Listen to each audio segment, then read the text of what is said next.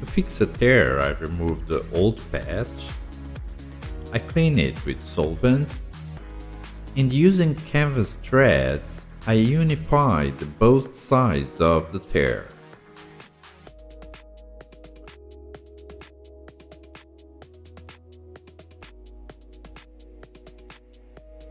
After, I cover with Melinex felt and a heavy weight and I let it dry.